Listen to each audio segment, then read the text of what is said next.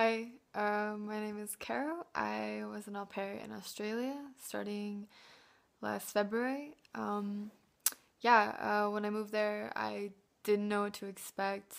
Um, I just, I don't know, I wanted to do comedy while I was there.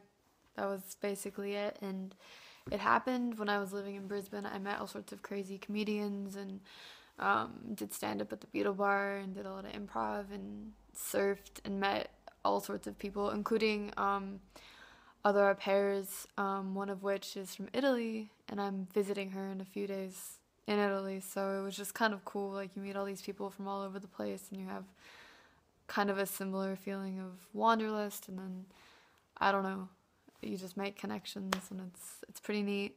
Um, I would definitely recommend the experience.